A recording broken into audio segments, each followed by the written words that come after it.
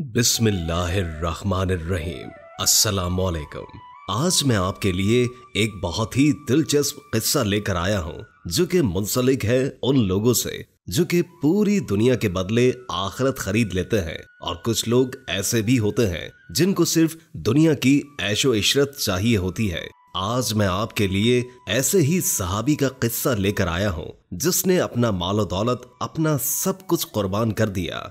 हज़रत मोहम्मद सल्लल्लाहु अलैहि वसल्लम के कहने पर कि उसको इस मालो दौलत के बदले जन्नत में एक दरख्त मिलेगा। दोस्तों, रिवायत में आता है कि एक नौजवान शख्स जो कि यतीम था, वो प्यारे आका की बारगाह में हाजिर हुआ और इनसे मिलने के बाद, सलाम करने के बाद ये बात कहने लगा, या रसूल अल्लाह मेरे पास चंद खजूर के दरख्त हैं। और मैं उनको दीवार से घेरना चाहता हूँ। लेकिन एक परेशानी ये आ रही है कि जहाँ पर मेरे खजूर के दरख्त हैं, वहीं पर मेरे एक पड़ोसी का दरख्त भी है और जिसकी वजह से मैं अपनी दीवार खड़ी नहीं कर पा रहा हूँ। क्योंकि अगर मैं अपनी दीवार खड़ी करता हूँ तो मेरा डर है कि वो टेढ़ी हो जाएगी क्योंकि बीच में मेरे पड़ोसी का दरख्त भी आ रहा है। मैं चाहता हूँ कि मेरी दीवार बिल्कुल सीधी हो जाए। इसके लिए मैंने अपने पड़ोसी से बात भी की है, और उसने ये बात कही कि अगर तुम चाहो तो इस दरख्त को बेच सकते हो, और मैं तुमको इसकी अच्छी रकम अदा कर सकता हूँ। लेकिन बावजूद इसके मेरा पड़ोसी टस से मस नहीं हो रहा। वो मानने को तैयार ही नहीं, और वो कोई रकम लेने को तैयार ही नहीं हो रहा। तो मैं इस चीज़ को लेकर परेशान हूँ। आकाए करीम फरमाइए और मुझे बताइए कि मैं क्या करूँ। तो दोस्तों, इस नौजवान यतीम की बात सुनने के बाद आ हज़रत मोहम्मद मुस्तफ़ा सल्लल्लाहु अलैहि वसल्लम ने उस शख्स को बुलवाया। तो रसूल अल्लाह के बुलवाने पर पड़ोसी भी आका की बारगाह में हाजिर हो गया और फिर आका ने फरमाया कि जो नौजवान शख्स है, ये अपनी बाग के चारों तरफ़ दीवार खड़ी करना चाहता है, लेकिन बीच में तुम्हारा खजूर का दरख्त आ रहा है। तो जिसकी वजह से वो अपनी दीवार खड़ी नहीं कर पा रहा। तुम ऐसा करो, अपने दरख्त तुम उसको बेच दो, ताकि तुमको अच्छा मुनाफा हासिल हो सके।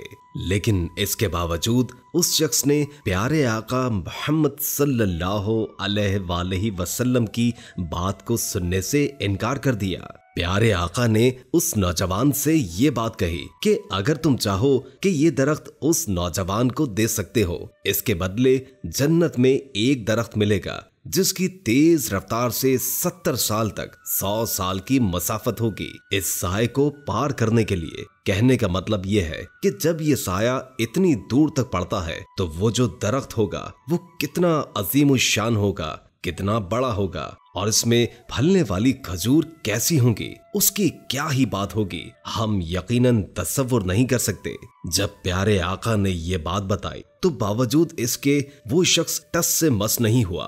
वो यकीनन हैरान ज़रूर हुआ कि एक मामूली से खजूर के दरख्त की वजह से जन्नत के अंदर उसको एक बड़ा आलीशान खजूर का दरख्त मिल जाएगा। लेकिन इसके बावजूद भी उस शख्स ने इनकार कर दिया। इतनी बड़ी ऑफ़र को, एक नेमत को उसने ठुकरा दिया। यहाँ पर मेरा सवाल है, आप सब सुनने वालों से, कि अगर आपको दुनिया में इस तरह की ऑफ़र मिले, इस तरह का कोई मौका मिले, जिसमें आपको एक आलीशान मकाम मिल जाए तो आप क्या करेंगे? कमेंट में सच बताइएगा। तभी वहाँ पर मौजूद एक सहाबी नबी अकरम सल्लल्लाहु अलैहि वसल्लम की बारगाह में हाजिर हुए और आकर ये बात कहने लगे, या रसूल अल्लाह अगर इस नौजवान के पड़ोसी से मैं ये दरख्त खरीद लूँ तो क्या मुझे भी जन्नत के अंदर वो दरख्त मिल जाएगा? इस पर प्यारे आका मोहम्मद मुस्तफ़ा सल्लल्लाहु अलैहि वसल्लम ने फरमाया हाँ तुम्हें भी वो दरख्त मिल जाएगा। तो दोस्तों, मैं आप सभी को बता दूँ, वो जो सहाबी थे, उनका एक बड़ा खजूर का बाग था, जिस बाग के अंदर 600 दरख्त मौजूद थे, और वो खजूरों वाला बाग था, और वो मदीने के अंदर बड़ा ही मशहूर था। कहने का मकसद ये है कि उस बाग के अंदर जो खजूर हुआ करती थी, वो बहुत ही ज़्यादा उम्दा हुआ करती थी यहाँ तक कि हर कोई उनके उगने का इंतज़ार किया करता था। तो दोस्तों, वो साहबी उस नौजवान के पड़ोसी के पास गए और उसके पास जाकर ये बात कही कि मैं खजूर के दरख्त को खरीदना चाहता हूँ और उसके बदले मैं तुम्हें अपने खजूर के बाग देता हूँ। तो मेरे प्यारे मुसलमान भाइयों नौजवान का पड़ोसी था। वो बड़ा हैरान हुआ और दिल में बड़ा खुश होने लगा। लेकिन शायद वो ये बात नहीं जानता था कि उसने बहुत ही बड़ी नेमत को खो दिया और दुनिया की नेमतों में खो चुका था। इसलिए उसको आखिरत वाला इनाम यकीनन समझ नहीं आया। दोस्तों, इस नौजवान का पड़ोसी था। वो इस बात को लेकर बड़ा हैरान हुआ कि एक मामूली से खजूर के दरख्त की वजह से मुझे मदीने के खजूर का बाग मिल जाएगा। दोस्तों, पड़ोसी इस बात पर राज़ी हो गया और उसने सौदा पक्का कर लिया। उसके बदले में पेड़ साहबी को दे दिया गया और साहबी ने जो खजूर का दरख्त था, वो दूसरे नौजवान यतीम साहबी को दे दिया। तो दोस्तों, इसके बाद जो सहाबी थे, वो अपने घर की जाने दौड़े और घर पहुँचने के बाद अपनी बीवी से ये बात कही कि मैंने इस खजूर के बाग का सौदा कर दिया है और इसके बदले मैंने जन्नत में एक खजूर का दरख्त खरीद लिया है। दोस्तों, सहाबी की जो अहलिया थी, वो भी एक मोमिन थी और यकीनन इस बात को जानती थी कि मेरे शोहर ने जो किया, वो बिल्कुल सही किया है। और मेरे शौहर जो फैसला कर लेते हैं, वो बिल्कुल सही फैसला करते हैं। दोस्तों, उस बाग के अंदर बहुत ही सारे मीठे पानी के कुएँ मौजूद थे। इसके अलावा साहबी का घर भी मौजूद था। तो दोस्तों, आपने अपनी अहलिया को लिया और वहाँ से निकल आए। अपने घर से कोई सामान नहीं उठाया और ना ही आपकी बीवी ने उठाया। और ये सोचकर कोई भी चीज़ नहीं उठाई कि इसमें ऊंच नीच हो सकती है। उन्होंने अपनी ज़रूरत का कोई सामान नहीं उठाया और अपनी बीवी को लेकर प्यारे आका की बारगाह में हाजिर हुए।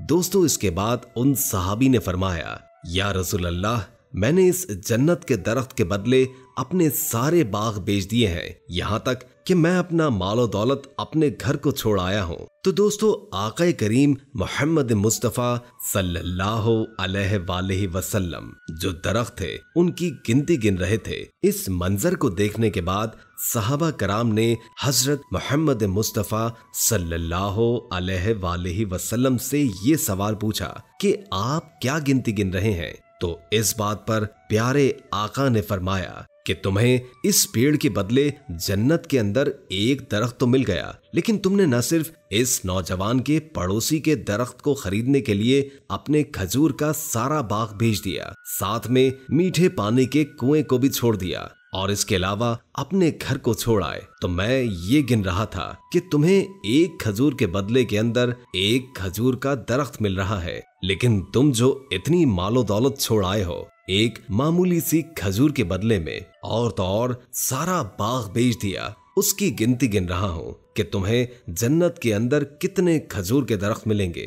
तो दोस्तों मोहम्मद मुस्तफ़ा सल्लल्लाहु अलैहि वसल्लम की शान देखिए कि आप मदीने में बैठकर जन्नत के दरख्तों का सौदा कर रहे हैं। ये हमारे प्यारे आका की शान ही है। यकीनन आप जन्नत के मालिक हैं। इसमें कोई शक की गुंजाइश नहीं। दोस्तों, आप देखिए कि साहबा कराम का अकीदा कैसा था। कि जन्नत के एक लफ्ज को पाने के लिए अपने अपने सारे बागात को अपने मीठे पानी के कुएँ और अपने मालो दौलत और घर बार को बेच दिया। तो दोस्तों, यह है साहबा कराम का हज़रत मोहम्मद मुस्तफ़ा सल्लल्लाहु अलैहि वसल्लम से इश्क। तो दोस्तों, आप सबको एक और अहम बात बता दूँ कि जन्नत में सिर्फ़ वही जाएगा जो मोमिन होगा, मुसलमान होगा, ईमान वाला होगा। हर किसी को जन्नत में जाने की इजाज़त नहीं है, जो अल्लाह को मानने वाला होगा और अल्लाह को राज़ी करने वाला होगा और अल्लाह के रसूल को राज़ी करने वाला होगा और वो ये बात मानता होगा कि अल्लाह के सिवा कोई माबूद नहीं। हज़रत मोहम्मद मुस्तफ़ा सल्लल्लाहु अलैहि वसल्लम अल्लाह के बंदे और आखिरी रसूल हैं, तभी वो जन्नत में दाखिल हो सकेगा।